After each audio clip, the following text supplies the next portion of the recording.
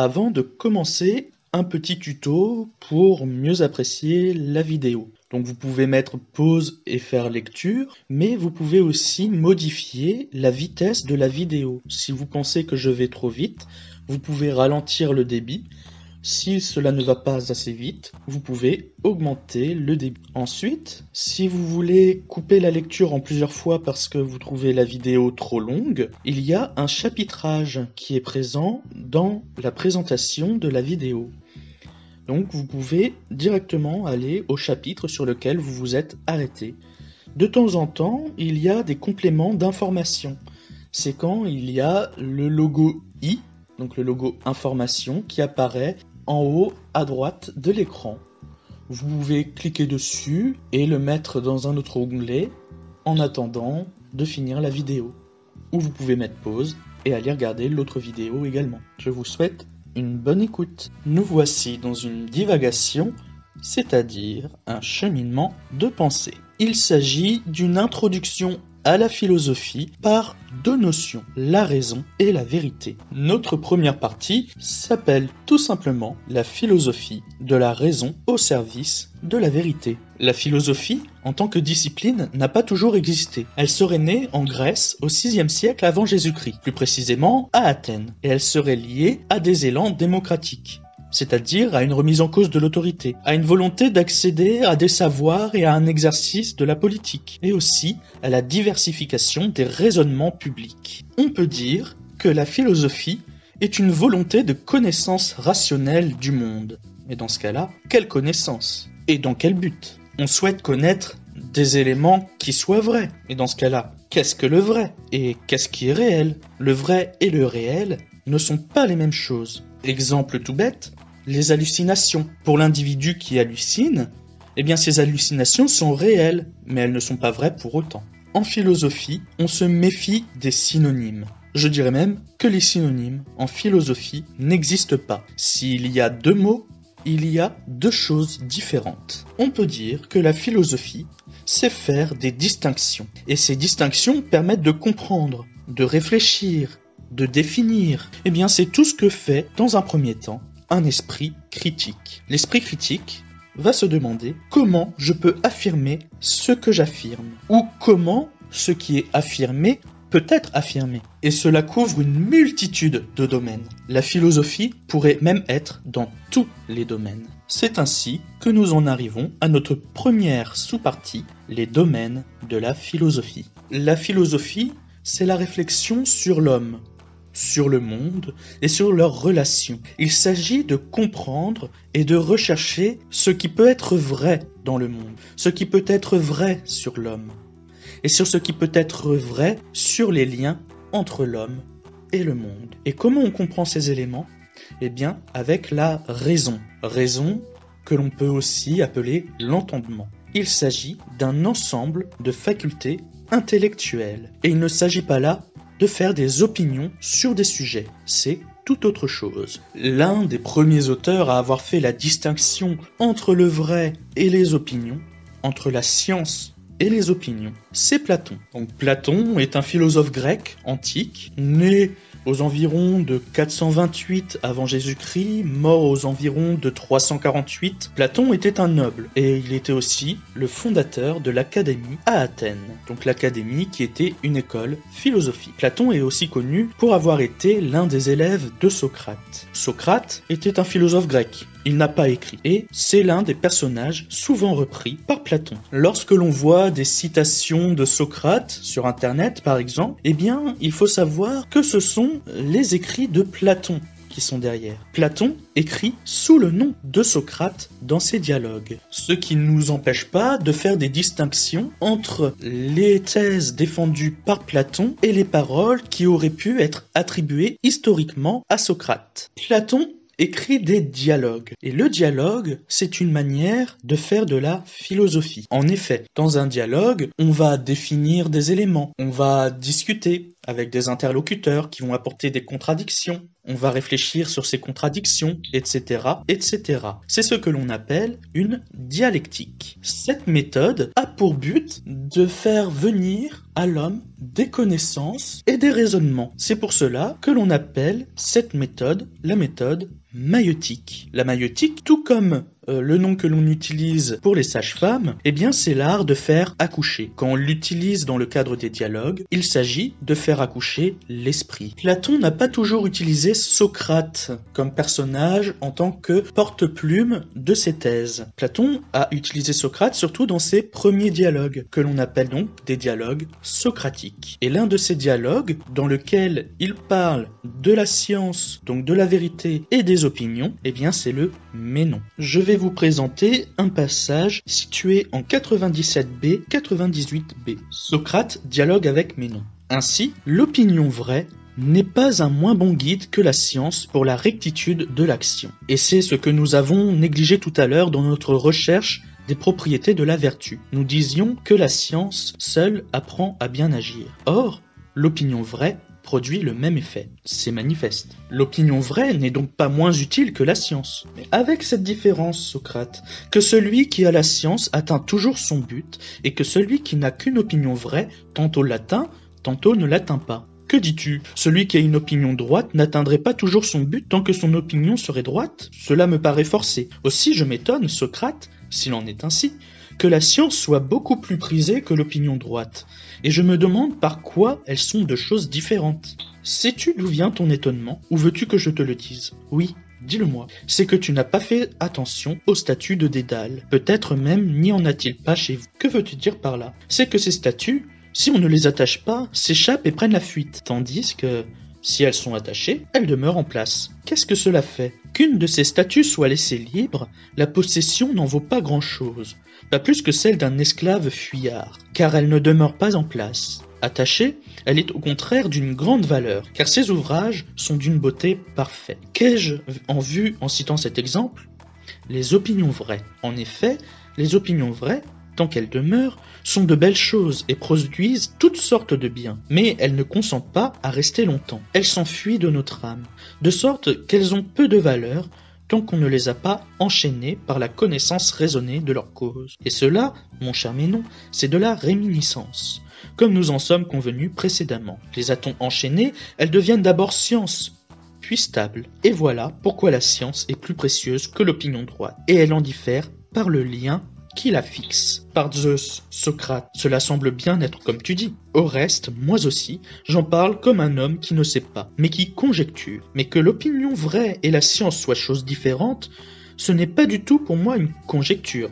Et si je puis dire que je connais quelque chose, et elles sont en petit nombre, je puis au moins compter celle-ci comme une de celles que je connais. Le problème de ce texte se constitue autour de la différence entre l'opinion et la science. Dans un premier temps, on peut dire que l'opinion est un avis subjectif ou personnel, c'est-à-dire que c'est le résultat d'une pensée d'un individu. Et la science, au contraire, serait un savoir objectif, c'est-à-dire qu'elle serait le fruit d'une étude rationnelle, issue d'une méthode, ce n'est pas qu'un simple avis. Platon rapproche l'opinion vraie et la science. Ces deux éléments seraient des guides pour l'action, c'est-à-dire des savoirs qui vont nous permettre d'agir. C'est la sagesse, une sagesse qui vise l'action. Si je sais que le soleil brûle, eh bien, je vais l'éviter. Mais si nous parlons de l'opinion vraie, il y a quelque chose que nous devons avoir en tête. C'est que l'opinion vraie est différente de l'opinion fausse. Qu'est-ce qui les différencie? Eh bien, on peut dire que l'opinion fausse, c'est une simple idée reçue. Et l'opinion vraie, c'est le fait que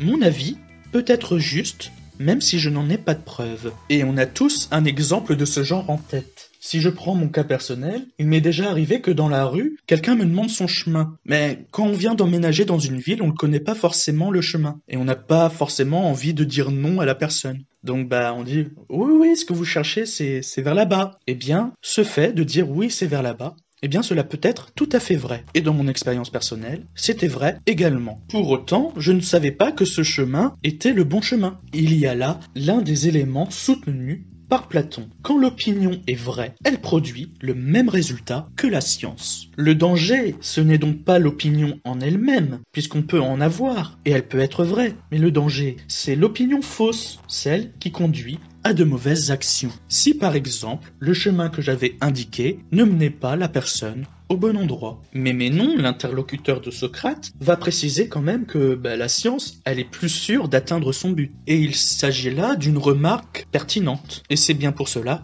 que Platon va la discuter. L'opinion vraie peut être aussi appelée droite ou juste, puisque l'opinion vraie peut guider dans une bonne direction et que l'opinion vraie peut aussi avoir raison dans sa conclusion. Et oui, dans ce cas, elle a d'aussi bons résultats que la science. Et le problème, c'est que si l'opinion vraie a d'aussi bons résultats que la science, comment on va faire pour les différencier? Platon va comparer les opinions et la science au statut de Dédale. Donc Dédale est un personnage mythologique. Il est surtout connu pour être le père de Icare et l'architecte qui a mis au point le labyrinthe du Minotaure. Mais il était aussi un sculpteur de renom. Il avait la réputation de faire des statues si réalistes et des personnages en mouvement si réalistes que ces personnages pourraient prendre vie. Ces statues s'animaient si elle n'était pas enchaînée. C'est pour cela qu'une statue de Dédale qui n'était pas enchaînée ne valait rien, puisque si elle n'est pas enchaînée, eh bien la statue, elle part quand elle veut. Alors que la statue qui est enchaînée, eh bien elle ne peut pas s'échapper, et donc elle acquiert de la valeur. Eh bien, l'opinion est comparée à la statue qui n'est pas enchaînée, c'est-à-dire à la statue qui part quand elle veut, c'est-à-dire à la statue qui n'a pas de valeur. Alors que la science, elle, va avoir de la valeur, puisqu'elle va être enchaînée au propriétaire ou à quelque chose qui va la garder en place. La science est issue d'un processus qui va enchaîner son résultat à son propriétaire, qui va enchaîner ce résultat à la raison et pas à la simple intuition. Socrate rattache cette connaissance raisonnée à la réminiscence. Eh bien, la réminiscence est une thèse philosophique assez ancienne, déjà à l'époque de Platon. C'est l'idée que finalement, l'homme n'apprend rien, mais il se souvient. Pour Platon, l'âme connaît déjà les choses, et le dialogue va faire en sorte de réactualiser ces connaissances qui vont être actualisées par des raisonnements certains, issus d'une méthode précise, avec des preuves. Ainsi, la réflexion et ses connaissances vont permettre de distinguer la science et l'opinion. L'opinion qui n'a pas besoin de réflexion pour exister. Et ce fait, pour Socrate, n'est pas une conjecture, ce n'est pas une simple hypothèse. Ce jeu entre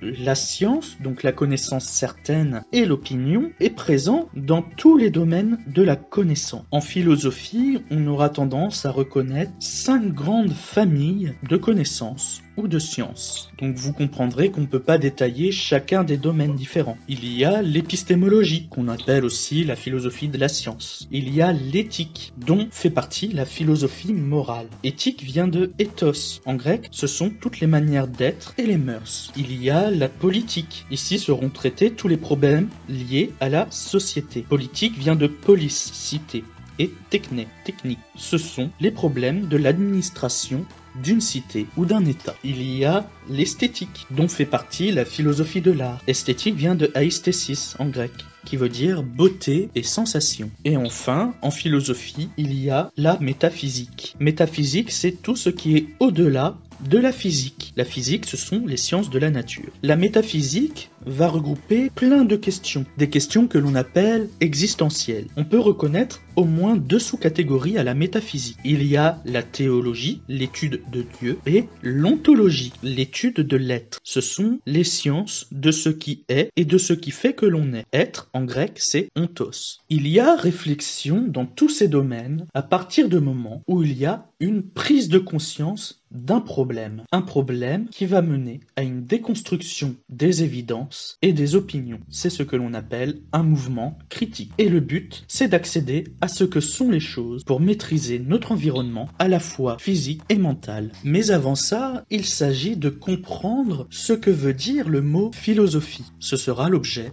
de notre deuxième sous-moment. L'un des premiers à s'être appelé un philosophos, c'est Pythagore. Pythagore, né aux alentours de 580, mort aux alentours de 495 avant Jésus-Christ. Pythagore, qui était un philosophe, un homme politique et surtout un chef religieux, passionné de science, c'est à lui que l'on devrait le théorème de Pythagore. Alors que pas du tout, puisque Pythagore a suivi de nombreux voyages initiatiques, dont un qui s'est produit en Égypte et c'est là qu'il a appris les mathématiques. Il suivait plusieurs enseignements de plusieurs maîtres et il y avait de nombreuses démonstrations à mener. Et un matin, il va voir son maître et il lui dit Cette nuit, j'ai rêvé d'une démonstration. Et il a produit le théorème en appliquant les enseignements qu'on lui a appris. Philosophie se compose de deux mots. Philein, qui veut dire chercher ou tendre vers, que l'on traduit aussi par aimer, et Sophia, qui se traduit par sagesse ou connaissance. Une sagesse qui peut être théorique, dans ce cas-là c'est la contemplation, on regarde les idées, on réfléchit, ou sagesse qui peut être pratique, qui vise l'action, c'est le de ce qui doit être fait ou de ce qui serait le mieux. Ainsi, philosophie, c'est l'amour de la sagesse et la recherche de la connaissance. La philosophie ne cherche pas n'importe quoi, n'importe comment. Il y a des démarches particulières, et cela a commencé véritablement avec Platon, qui va faire une première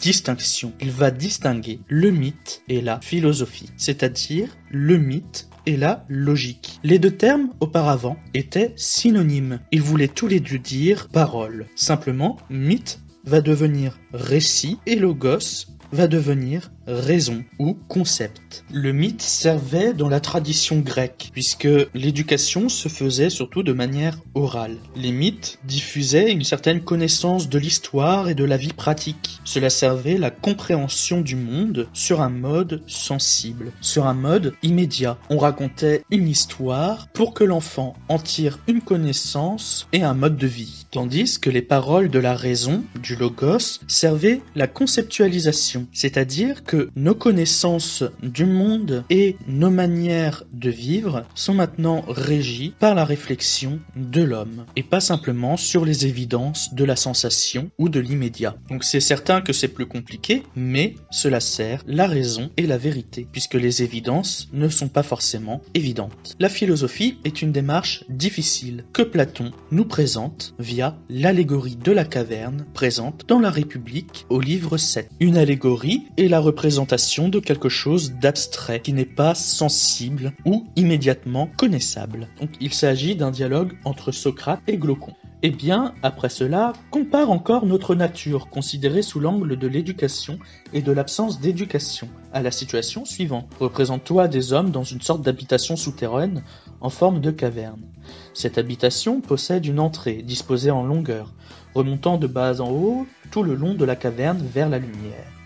Les hommes sont dans cette grotte depuis l'enfance, les jambes et le cou ligotés de telle sorte qu'ils restent sur place et ne peuvent regarder que ce qui se trouve devant eux, incapables de tourner la tête à cause de leurs liens. Représente-toi la lumière d'un feu qui brûle sur une hauteur loin derrière eux, et, entre le feu et les hommes enchaînés, un chemin sur la hauteur, le long duquel tu peux voir l'élévation d'un petit mur, du genre de ces cloisons qu'on trouve chez les montreurs de marionnettes et qu'ils érigent pour les séparer des gens. Par-dessus ces cloisons, ils montrent leurs merveilles. Je vois. Imagine aussi, le long de ce muret, des hommes qui portent toutes sortes d'objets fabriqués qui dépassent le muret, des statues d'hommes et d'autres animaux, façonnés en pierre, en bois et en toutes sortes d'espèces de matériaux. Parmi ces porteurs, c'est bien normal, certains parlent, d'autres se taisent. Tu décris là une image étrange et de bien étranges prisonniers. Ils sont semblables à nous, et pour commencer, crois-tu en effet que de tels hommes auraient pu voir quoi que ce soit d'autre, de même les uns des autres, si ce ne sont les ombres qui se projettent sous l'effet du feu sur la paroi de la grotte en face d'eux? Comment auraient-ils pu, puisqu'ils ont été forcés leur vie durant de garder la tête immobile? Qu'en est-il des objets transposés? N'est-ce pas la même chose? Bien sûr que si. Alors, s'ils avaient la possibilité de discuter les uns avec les autres, n'es-tu pas d'avis qu'ils considéreraient comme des êtres réels les choses qu'ils voient? Si, nécessairement. Et que se passerait-il si la prison recevait aussi un écho provenant de la paroi d'en face? Chaque fois que l'un de ceux qui passent se mettrait à parler, crois-tu qu'il penserait que cela qui parle est quelque chose d'autre que l'ombre qui passe? Par Zeus, non, je ne le crois pas. Mais alors, de tels hommes considéreraient que le vrai n'est absolument rien d'autre que les ombres et les objets fabriqués? De toute nécessité. Examine dès lors la situation qui résulterait de la libération de leurs liens et de la guérison de leur égarement, dans l'éventualité où, dans le cours des choses, il leur arriverait ce qui suit. Chaque fois que l'un d'entre eux serait détaché et contraint de se lever subitement, de retourner la tête, de marcher et de regarder vers la lumière, à chacun de ces mouvements, il souffrirait, et l'éblouissement le rendrait incapable de distinguer ces choses dont il voyait que des lubies, alors que maintenant, dans une plus grande proximité de ce qui est réellement, et tourné davantage vers ce qui est réellement, il voit plus correctement. Surtout si, en lui montrant chacune des choses qui passent, on le contraint de répondre à la question Qu'est-ce que c'est? Ne crois-tu pas qu'il serait incapable de répondre et qu'il penserait que les choses qu'il voyait auparavant étaient plus vraies que celles que je lui montre à présent? Bien plus vraies. Et de plus, si on les forçait à regarder en face la lumière elle-même, N'aurait-il pas mal aux yeux, et ne la fouillerait-il pas en se retournant vers ces choses qu'il est en mesure de distinguer Et ne considérerait-il pas que ces choses-là sont réellement plus claires que celles qu'on lui montre? C'est le cas.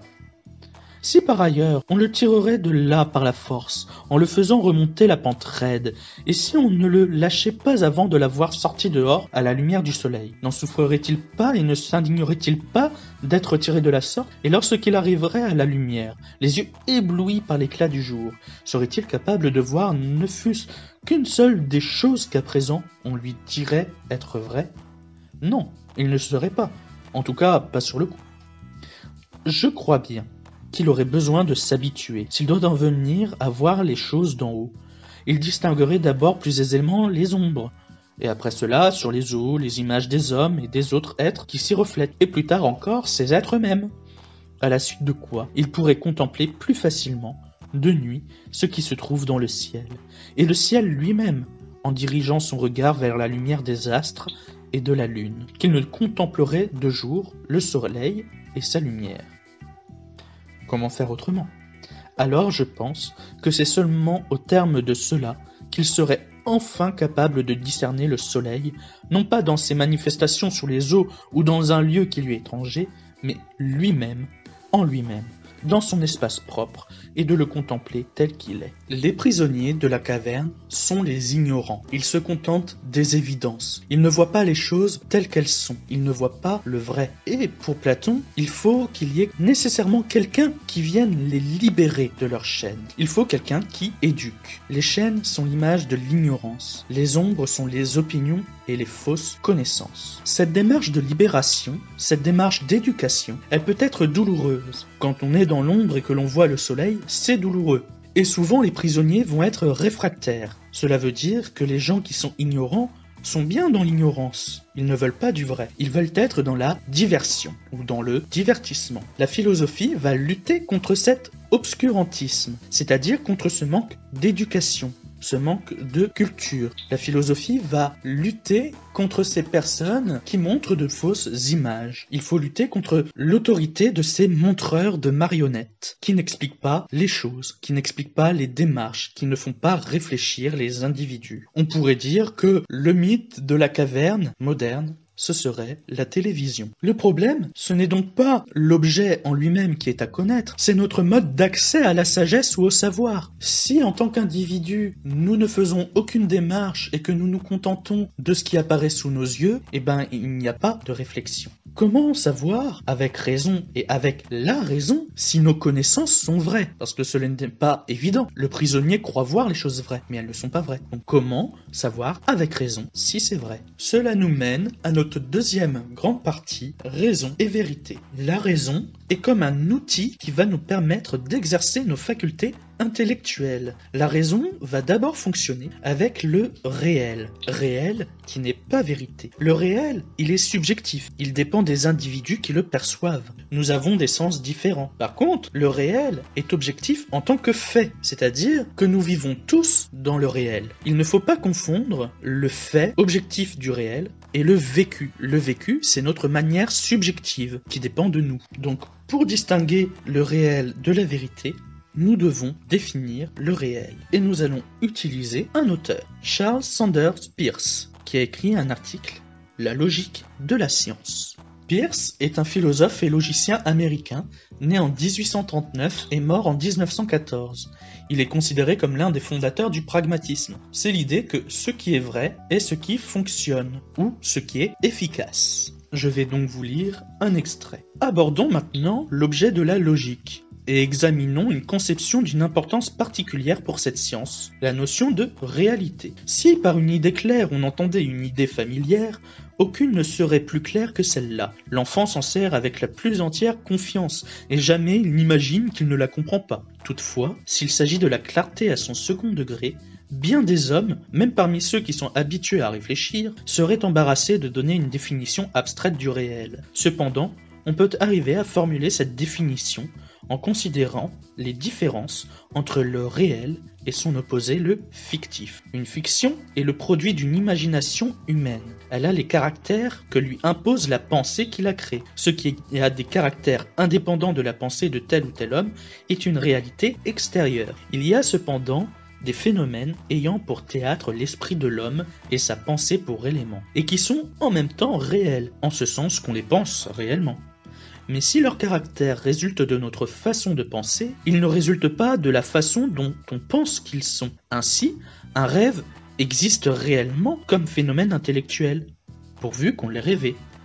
Qu'on ait rêvé de telle ou telle façon, cela ne dépend pas de ce qu'en peut penser qui que ce soit, mais est entièrement indépendant de toute opinion sur ce sujet. D'autre part, si l'on considère non point le fait de rêver, mais la chose rêvée, le rêve ne possède certains caractères que parce que nous avons rêvé qu'il les possédait. Ainsi, le réel peut se définir, ce dont les caractères ne dépendent pas de l'idée qu'on peut en avoir.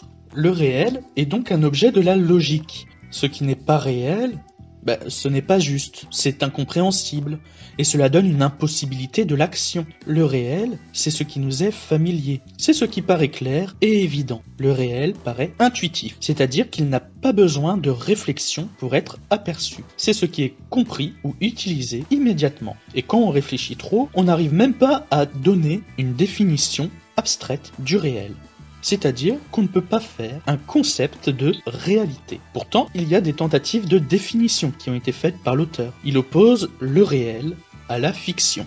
La fiction, c'est le produit de l'imagination. Ça veut dire qu'il y a des caractères qui sont déterminés par notre pensée. Par exemple, le rêve. En effet, si je rêve d'un ballon bleu, le fait qu'il y ait un ballon et qu'il soit bleu, c'est mon esprit ou c'est moi qui l'ai décidé. Et si ce n'est pas moi qui l'ai décidé, dans le cas du rêve, puisqu'il est inconscient, eh bien c'est parce que je connais la forme du ballon et que je connais la couleur bleue. En ce sens, c'est mon esprit qui a décidé des caractères, des choses qui s'y trouvent. Alors que le réel, c'est ce qui est indépendant de notre pensée. L'auteur écrira ce dont les caractères ne dépendent pas de l'idée qu'on peut en avoir. Par exemple, je vais dans la rue, je vois des enfants qui jouent au ballon, ce n'est pas moi qui ai décidé que les enfants jouaient au ballon. Le réel reste quelque chose de rationnel, un objet logique. Puisque si le réel n'existe pas, eh bien il n'y a rien qui serait logique et rien qui serait efficace. Sur qui ou sur quoi le réel aurait des effets? Et dans ce cas, le réel, même si c'est moi qui vois des choses qui ne dépendent pas de moi, est-ce que le réel dépend de moi? Ou dépend des individus Est-il réellement objectif ou est-il subjectif? C'est l'objet de notre premier sous-moment, les liens entre la raison et les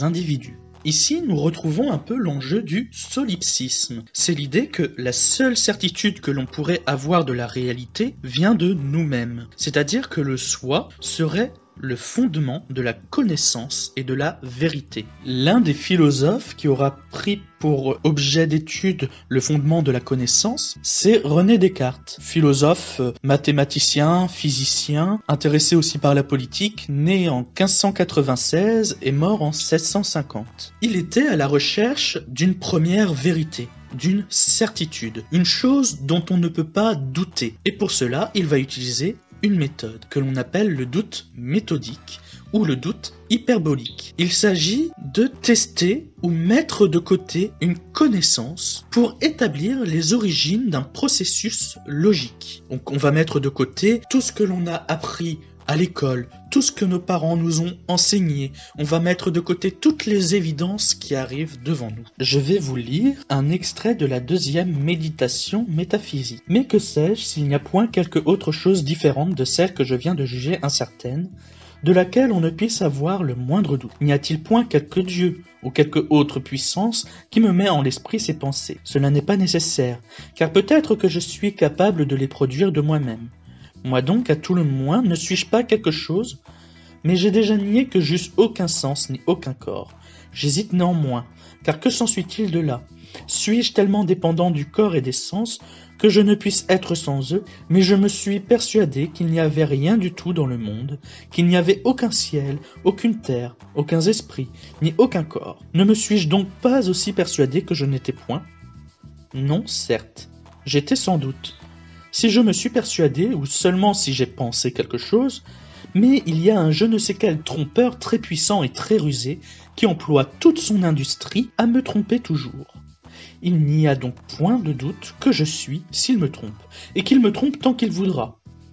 Il ne faudra jamais faire que je ne sois rien, tant que je penserai être quelque chose. De sorte qu'après y avoir bien pensé, et avoir soigneusement examiné toute chose, enfin il faut conclure, et tenir pour constant cette proposition. Je suis, j'existe, est nécessairement vrai toutes les fois que je la prononce ou que je la conçois en mon esprit mais je ne connais pas encore assez clairement ce que je suis, moi qui suis certain que je suis.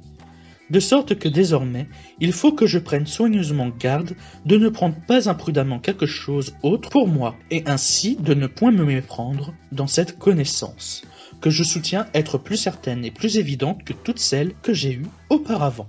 L'objet du texte est de voir d'où viennent nos connaissances. Descartes prend en première hypothèse l'idée que Dieu pourrait mettre en nous des pensées, des objets, des connaissances. Mais ce n'est pas nécessaire. Cela voudrait dire qu'on pourrait se passer de Dieu pour avoir des pensées ou pour savoir des choses. On peut produire nous-mêmes nos pensées. On pense via nos raisonnements. Et c'est ce que Descartes fait. Mais nous pensons aussi via nos sensations, via les corps, par exemple, via le sensible. Mais eux aussi sont mis en doute, ils sont écartés. Ce ne sont pas des connaissances certaines, puisque je peux être trompé. Ce que je crois vrai peut ne pas l'être. Il y a des illusions, et Descartes prend aussi l'idée du malin génie, le je ne sais quel trompeur. Mais même si je suis trompé, même si je suis victime d'illusions, je suis conscience de quelque chose. Je suis conscience de mon existence. En effet, si je suis trompé, c'est bien qu'il y a un trompeur qui vient tromper quelque chose. Ce quelque chose, c'est moi. Donc c'est la conclusion de l'auteur. Je suis, j'existe. C'est ce que l'on appelle le cogito. Il est reformulé dans un autre texte qui s'appelle le discours de la méthode. Cogito ergo sum. Je pense, donc je suis. Cela veut dire que je peux tout remettre en cause sauf le fait qu'il y a quelque chose qui pense, qui émet un raisonnement. Il y a une certitude, c'est que j'existe. Cette expérience de l'existence, tout le monde peut la faire. Un raisonnement est un processus de la raison. La raison est une faculté supérieure et intuitive, souvent valorisée en philosophie. Intuitive dans le sens que on n'a pas besoin d'intermédiaire pour penser on pense avec notre esprit. Mais néanmoins, la raison est quelque chose de rationnel. Raison vient de ratio, qui vient lui-même de ratus. Cela veut dire calcul et rapport. La raison, c'est faire des liens entre les éléments, et cela permet de déterminer à la fois nos savoirs et ce qui est vrai. Attention, petite distinction, vu qu'il n'y a pas de synonyme en philosophie. Le savoir, ce n'est pas la connaissance. Le savoir est une forme générale de connaissance qui existe hors des individus. C'est quelque chose d'objectif. Alors que la connaissance, en elle-même est subjective. Elle est indissociable de l'individu qui connaît. Et la connaissance dépend de notre appréhension des choses, de la manière dont on réfléchit. Mais les deux, le savoir et la connaissance, sont rationnels et décrivent le vrai. Et remettre en cause cela, cela s'appelle douter. Mais si on remet en doute des choses rationnelles et qui décrivent le vrai, est-ce que le doute est rationnel? Et si ce n'est pas rationnel, c'est quoi? Si la connaissance et le vrai sont rationnels, est-ce que le faux, l'opinion et la croyance sont irrationnels? Cela va être l'objet de notre deuxième sous-moment. Le faux, l'opinion et la croyance sont-elles irrationnelle. L'opinion, elle est subjective, elle dépend des individus et elle n'a pas de justification rationnelle. C'est pour cela que l'opinion va être instable et qu'on peut en douter. Quant à la croyance, elle concerne tout ce qui ne peut pas être soumis à l'expérience. Comme on ne peut pas en faire d'expérience, comme on ne peut pas avoir d'appréhension réelle des choses, on va admettre subjectivement une vérité. Les deux sont juste probables et elles peuvent poser des problèmes, notamment dans la remise en cause des évidences. On peut prendre l'exemple de la Terre ronde. Que la Terre soit ronde, ce n'est pas évident. Il y a l'horizon qui est interminable et qui est droit devant nous. Il y a la gravité. Si la Terre est ronde, pourquoi ceux qui sont en dessous ne tombent pas? Et prouver la Terre ronde sans équipement, eh bien ce n'est pas facile. Aristote savait que la Terre était ronde, mais il ne pouvait pas le prouver. Et c'est un conflit qui dure encore. Aujourd'hui, il existe encore de nombreuses personnes qui pensent que la Terre est plate. Et c'est plutôt problématique. En 1956, il s'est passé quelque chose de plutôt intéressant. C'est l'année où il y a eu la première photo de la Terre depuis l'espace prise par la NASA. Et que voit-on sur cette photo? Eh bien que la Terre est ronde. En contestation, la même année, il y a eu la création de l'Association des Amis de la Terre plate aux États-Unis. Quel est le problème de cette création de cette association? C'est qu'il n'y a pas de croyance en un savoir nouveau. Et cela pose un autre problème, celui de l'efficacité des arguments et même des arguments scientifiques. En plus du fait qu'il faut faire attention puisque la croyance et l'opinion peuvent ne pas être fausses. Référons-nous au mais non. Pour cela, nous devons identifier ce qui est vraiment faux. Le faux, cela s'oppose au vrai. Le vrai, c'est ce que sont les choses. Cela nous mène à notre troisième sous-moment, qu'est-ce qu'une chose? La philosophie recherche ce que sont les choses en elles-mêmes. Est-ce que l'on peut être certain qu'il y a des choses? Et si il n'y a pas de choses, il n'y a rien. Dans ce cas-là, qu'est-ce que le rien? Eh bien, pour répondre à cette question, nous pouvons utiliser la classification d'Emmanuel Kant dans la critique de la raison pure, dans la table du rien. Kant est un philosophe allemand, professeur d'histoire géo et logicien, né en 1724 et mort en 1804. Je vais vous lire un extrait. Le concept suprême, par lequel on commence en général une philosophie transcendantale, est communément la division en possible et impossible dans la mesure cependant où toute division suppose un concept qui soit divisé. Un concept supérieur doit encore être indiqué, à savoir le concept d'un objet en général, pris de façon problématique et sans qu'il soit considéré s'il est quelque chose ou rien. Puisque les catégories sont les seuls concepts qui se rapportent à des objets en général, la démarche visant à distinguer si un objet est quelque chose ou rien suivra l'ordre et l'indication des catégories. Premièrement, au concept de tout, de plusieurs et d'un, s'oppose celui qui supprime tout, c'est-à-dire celui d'aucun. Et ainsi, l'objet d'un concept auquel absolument aucune intuition susceptible d'être indiquée ne correspond est égal à rien. Autrement dit, c'est un concept sans objet, comme les noumènes, qui ne peuvent être mis au nombre de possibilités, quand bien même ils ne doivent pas pour autant être donnés pour impossibles ens rationis. De même que, par exemple, certaines forces fondamentales nouvelles dont on se forge la notion sont des pensées certes sans contradiction, mais aussi sans exemple tiré de l'expérience et ne doivent donc pas être mises au nombre des possibilités. Deuxièmement, la réalité est quelque chose, la négation n'est rien, c'est-à-dire qu'elle est un concept du manque d'un objet comme l'ombre ou le froid. Nihil privativum. Troisièmement, la simple forme de l'intuition sans substance n'est pas en soi un objet, mais la condition simplement formelle de celui-ci en tant que phénomène, comme l'espace pur et le temps pur, qui sont certes quelque chose, en tant que forme de l'acte d'intuitionner, mais ne sont pas en eux-mêmes des objets susceptibles d'être intuitionnés. Hence, imaginarium. Quatrièmement, l'objet d'un concept qui se contredit lui-même n'est rien, parce que le concept rien et l'impossible, comme par exemple la figure rectiligne de deux côtés. Nihil negativum. La table de cette division du concept de rien, attendu que la division parallèle du quelque chose s'ensuit d'elle-même, devrait par conséquent être ainsi disposée. Rien. Un concept vide sans objet, hence rationis. 2. Objet vide d'un concept, nil privativum. 3. Intuition vide sans objet, ens imaginarium. 4. Objet vide sans concept, nil negativum. On voit que l'être de raison se différencie du non-être en ce que le premier ne peut être mis au nombre des possibilités, parce qu'il est simplement une fiction, bien que non contradiction, alors que le second est opposé à la possibilité dans la mesure où le concept se détruit lui-même. Tous deux sont cependant des concepts vides, au contraire, le nihil privativum et l'ens imaginarium ne sont des données vides pour deux concepts. Si la lumière n'a pas été donnée au sens, on ne peut pas se représenter non plus une obscurité. De même qu'aucun espace si l'on n'a pas perçu des êtres étendus.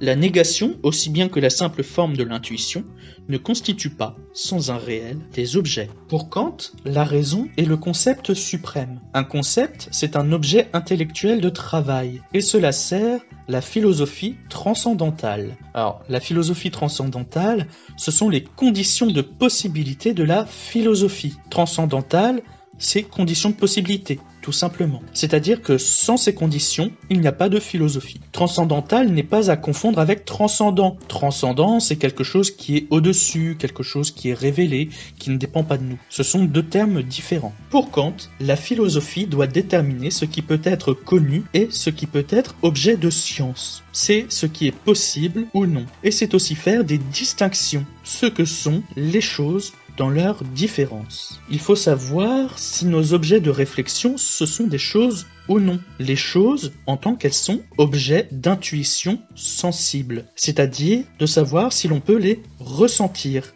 si on peut en faire l'expérience.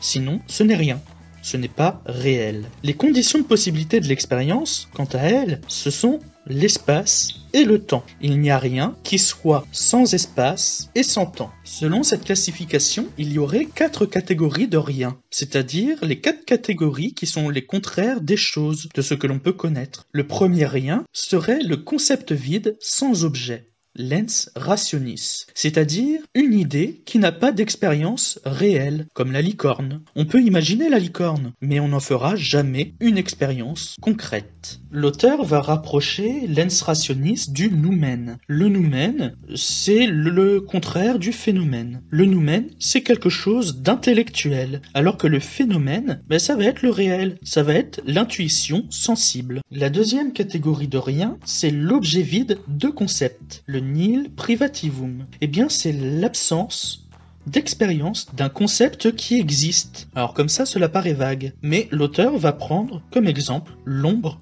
et le froid. L'ombre, c'est tout simplement l'absence de lumière. Donc l'ombre, c'est rien en tant qu'il n'y a pas l'objet lumière. Et le froid, c'est pareil.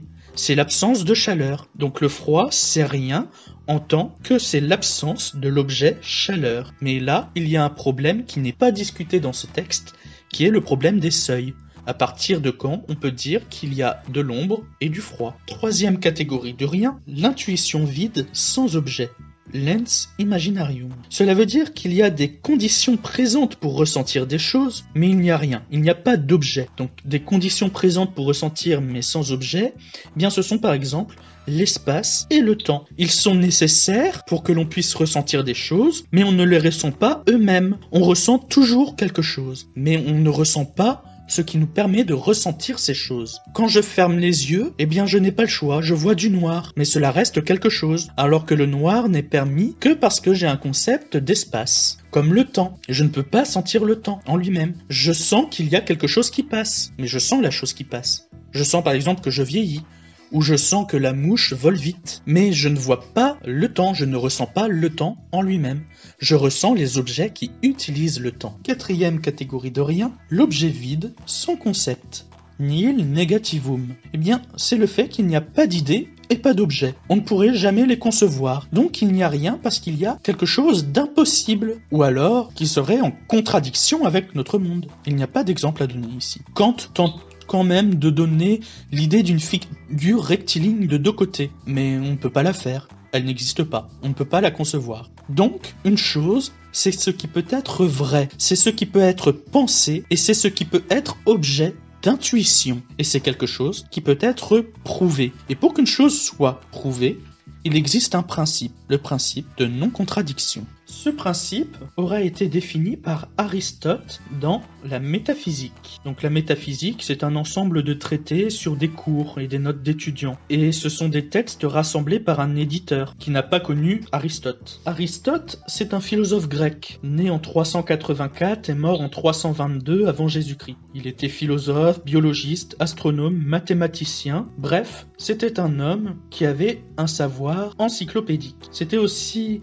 un élève de Platon et il a été le précepteur d'Alexandre le Grand, c'est-à-dire son éducateur. Il est aussi celui qui a fondé le lycée une école philosophique, je vais vous lire un extrait de la métaphysique. Le principe le plus sûr de tous est celui sur lequel l'erreur est impossible, car nécessairement un tel principe est le plus connu et n'est pas une hypothèse. En effet, le principe qui dit que doit nécessairement posséder celui qui acquiert la connaissance de n'importe lequel des êtres n'est pas une hypothèse, ce qu'apprend nécessairement à connaître celui qui apprend à connaître quoi que ce soit, nécessairement aussi le possède au départ. Un tel principe est donc le plus sûr de tous, c'est évident. Quel est ce principe? Après cela, énoncons-le, c'est qu'il est impossible que le même appartienne et n'appartienne pas en même temps à la même chose et du même point de vue, et toutes les autres spécifications que nous pourrions ajouter, qu'elles soient ajoutées contre les difficultés dialectiques. C'est assurément le plus sûr de tous les principes, car il a la détermination qu'on a dit.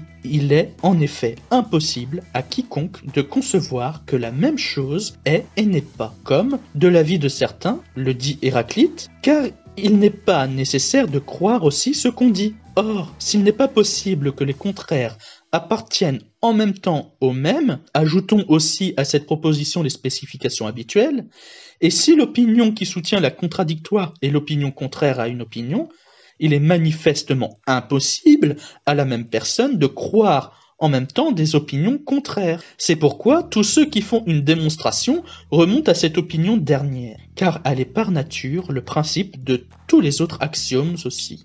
Démêlons plus simplement ce qui a été dit. Il est question d'un principe. Le principe, c'est ce qui est à l'origine ou au fondement de quelque chose, qui est premier ou nécessaire. C'est-à-dire que sans cela, il ne peut pas en être autrement. Ici, nous parlons du principe de non-contradiction. C'est le fait que une chose ne peut pas être une chose et son inverse en même temps et dans le même lieu. Par contre, ici, nous avons un problème. C'est que pour Aristote, ce principe est une opinion. Et pourtant, on doit nécessairement la penser pour pouvoir fonder nos connaissances. Et on ne peut pas prouver ce principe, sinon il n'y aurait pas de science et pas de démonstration possible. C'est-à-dire que sans ce principe, la logique elle-même n'existerait pas. Le réel est donc ce qui a des effets. Il est en lien avec la croyance et la vérité. Le réel et la croyance peuvent nous tromper. Le réel peut ne pas être vrai. Le réel peut nous montrer ce que ne sont pas les choses, puisqu'il se contente des apparences. Et la philosophie veut dépasser cela pour atteindre le vrai, quelque chose que l'on peut expérimenter et quelque chose qui paraît nécessaire. Mais est-ce que l'homme, un être vivant dans sa subjectivité, peut caractériser le vrai, quelque chose qui se présente comme un idéal objectif. Cela va être l'objet de notre troisième grande partie. La vérité est-elle relative ou absolue? Si l'homme décide de ce qui est vrai, cela voudrait dire que la vérité est relative à l'homme. L'homme qui se sert du principe de non-contradiction, qui sert dans des démonstrations. Et cette production de connaissances et des vérités serait en réalité un besoin de l'homme. Donc si l'homme décide de ce qui est vrai, cela voudrait dire que la vérité est un besoin de l'homme. C'est la thèse de Christoph von Sigwart, un philosophe et logicien allemand, né en 1830 et mort en 1904. Pour lui, le principe de non-contradiction serait un besoin psychologique, une nécessité de l'esprit. Cela veut dire que la raison ne pourrait pas fonctionner sur un mode différent. Et si ce n'est pas le cas, cette production de connaissances par ce principe serait contingent. Cela veut dire que ces connaissances pourraient être autrement qu'elles ne sont. Et si les choses peuvent être autrement qu'elles sont, elles peuvent être fausses on voit que l'homme ne peut pas fonctionner et ne peut pas s'organiser sur des éléments qui ne dépendraient que de lui-même, des éléments qui seraient contingents. Cela nous permet de définir le vrai. Le vrai doit être nécessaire, universel, est absolu. Cela veut dire que le vrai ne peut pas être autrement qu'il n'est. Il est pour tout le monde, en tout temps et en tout lieu, et le vrai n'est pas dans la demi-mesure. Il est sans discussion possible. Le vrai est un modèle que l'on recherche, c'est un idéal. Pour autant, le facteur humain ne peut pas être oublié. C'est l'objet de notre premier sous-moment. Comment atteindre et utiliser le vrai si c'est nous qui le déterminons? Il y aurait deux manières d'atteindre le vrai. Une manière immanente et une manière transcendante. Atteindre le vrai d'une manière immanente, cela veut dire que le vrai viendrait de l'homme, par l'exercice d'un raisonnement, comme par exemple le principe de non-contradiction. Si le vrai est quelque chose de transcendant, cela veut dire que le vrai proviendrait soit d'une autorité, soit d'une révélation. Si cela provient d'une autorité, cela veut dire que le vrai est vrai à partir du moment où on l'énonce. Par exemple, le Père Noël est vrai pour l'enfant parce que ses parents lui ont dit. C'est de même dans une dictature. Dictature propose les meilleures solutions parce que le dirigeant l'a dit. Le vrai par la transcendance et la révélation est plus particulier puisque la révélation fait référence à la religion. Cela veut dire que le vrai serait vrai tout simplement parce que ce serait dans un écrit religieux. Un écrit religieux qui, selon les croyances, proviendrait soit de Dieu, soit des prophètes. Le point commun à ces manières d'atteindre le vrai, c'est le besoin de sens, le besoin de logique.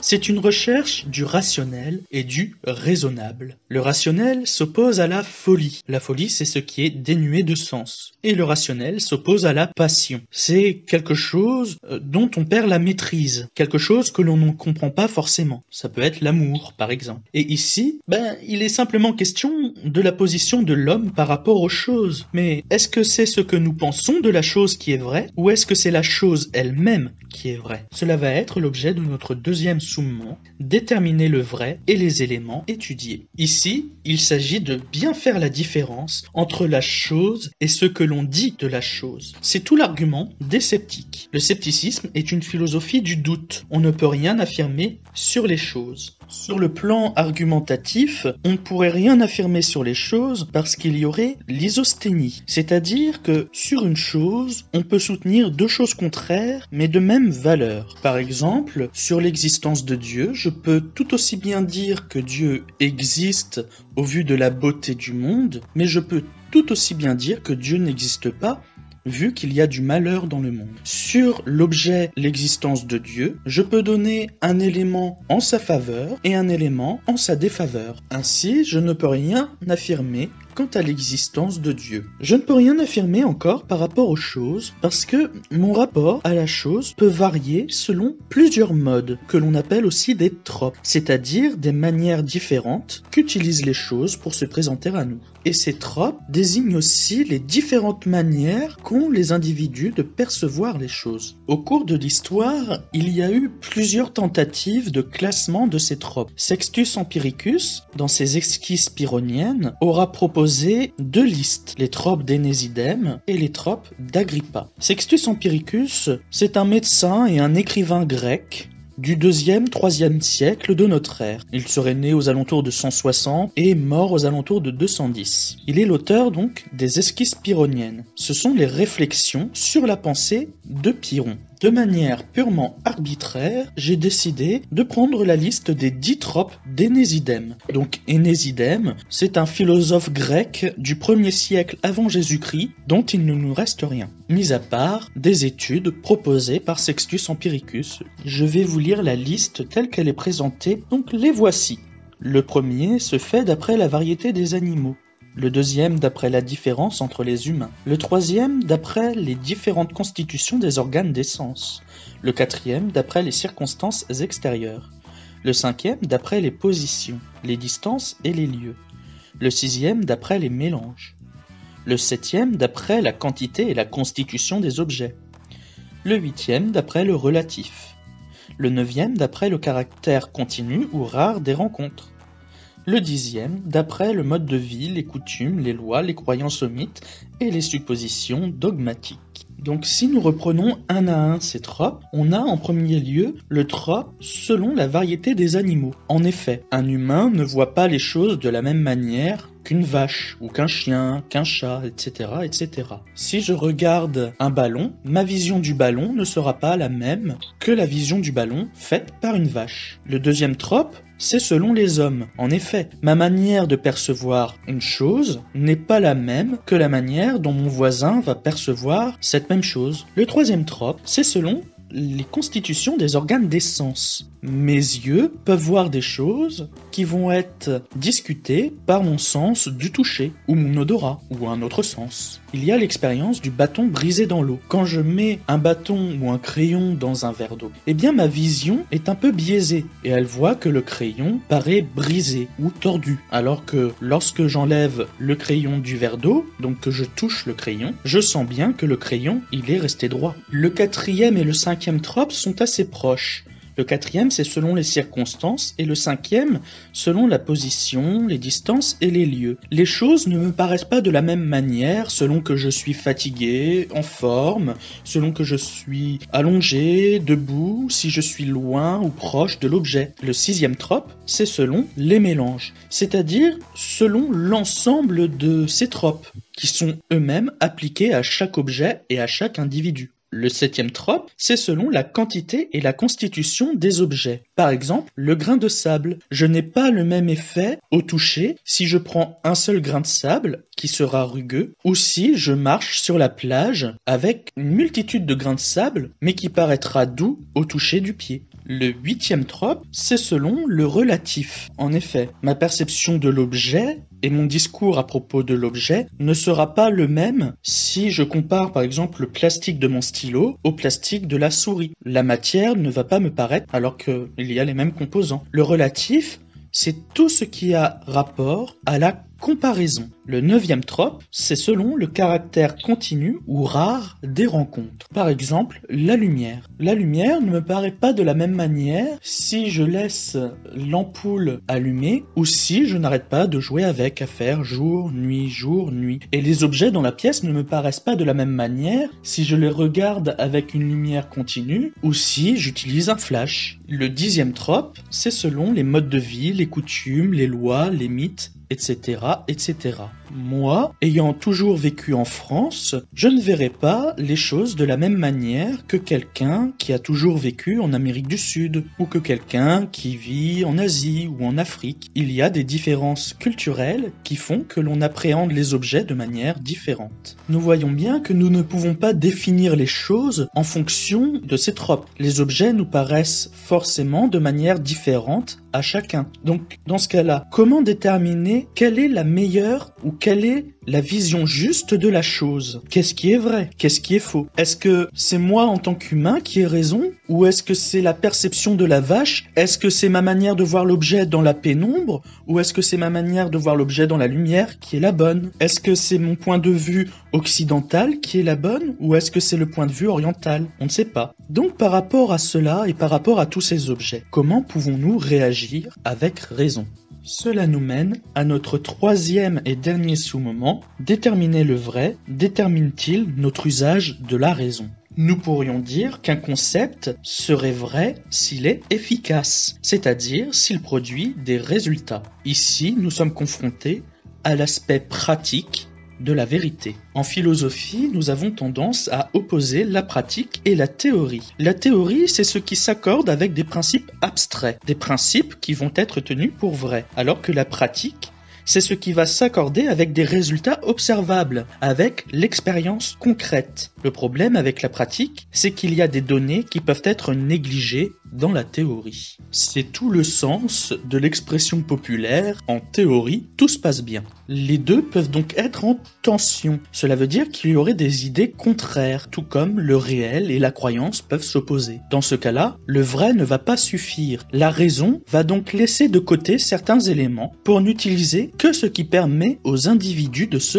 conserver. C'est ce que l'on appelle la lutte dans l'existence. Et Nietzsche expliquera aussi que Dans cette lutte pour l'existence, qui est une lutte raisonnable, on peut utiliser notre raison pour dissimuler des choses, pour être violent ou pour mentir, c'est-à-dire dire volontairement le contraire de la vérité. Il y a tout un jeu qui existe entre l'existence et la raison. C'est lié à un exercice de notre volonté et à ce que l'on appelle le bon sens. Pour vivre, il faut le vouloir et réagir face à ce qui nous arrive. Le problème avec ce bon sens, c'est que ce qui fait sens pour certains ne fait pas sens pour d'autres. Et c'est pour cela qu'il y a besoin d'une recherche de preuves. La preuve, c'est montrer ce qui est réel. Et c'est là que nous avons besoin de la science. La science fonctionne par hypothèse. Ce sont des idées ou des postulats de travail. Elles doivent être testées démontrées. Ce qui constitue une connaissance, c'est la résistance des hypothèses face aux expériences et aux arguments. C'est ce que l'on appelle un principe